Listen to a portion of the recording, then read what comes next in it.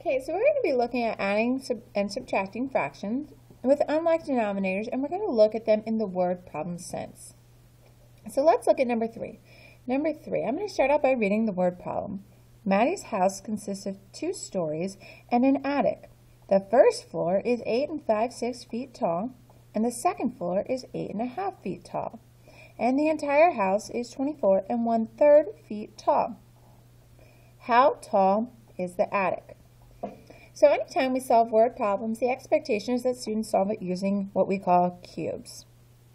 The C in cube stands for circle the important numbers. The U is for underline the question. B is for box the operation word. E is for evaluate an expression, and then S is where we solve. So let's go ahead and start out with C.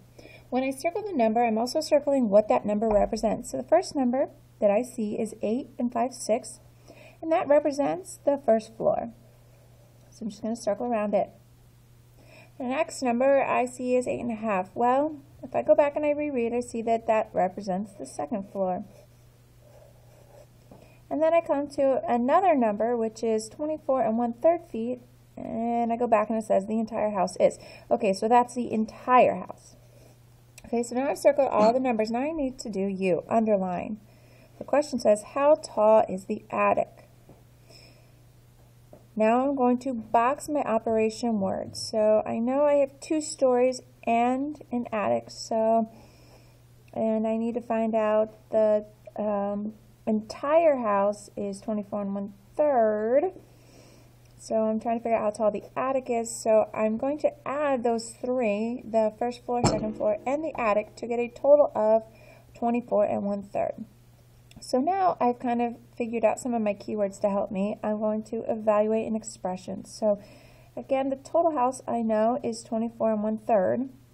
The first floor is 8 and 5 sixths plus 8 and 1 half plus the attic. I'm just going to put A in its place because I have no clue. And then the, again, the total is 24 and 1 third. So what we know about addition is that it has a relationship with subtraction. So I'm actually going to rewrite this with subtraction. So when I rewrite it with subtraction, I'm going to rewrite it as 24 and 1 third minus 8 and 5 sixths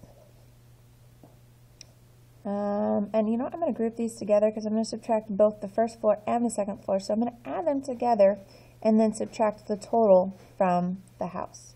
So 8 and 1 half. So first I'm going to add these two. And what I notice is that I have unlike denominators once again. So I'm going to make it into like denominators. And I can do that by multiplying here by 3 to get both of them as to 6. So 8 and 1 half if I get that common denominator, is actually going to be 3 6. So if I join them together, I actually get 16 as my whole and 8 6. Now what we notice is that here we have almost like an improper fraction with a mixed number where my numerator is greater than my denominator. So what I need to do is I need to regroup the extra into my whole. So I know that in terms of 6, 6 6 is one whole. So I'm going to subtract 6 and regroup it into my whole. So now I have 17 and 2 sixths. So 24 and 1 third minus 17 and 2 sixths. So now again, I need to have a common denominator. So they should be able to realize that 2 thirds can actually go back, 2 sixths can actually go back down into 1 third or one third can go up to 2 6. So 24 and 2 6 minus 17 and 2 6. Well, clearly my fraction parts are going to cancel each other out. So now I'm just subtracting 24 from 17. Now, if I can't do it this way, I can rewrite it going up and down, 24 minus 17. And I'll borrow 14 minus is 7. So my answer for the attic is 7 feet tall. Again, to just rehash what we already did, I realized that the total was 24 and one third, so I wrote it as subtraction.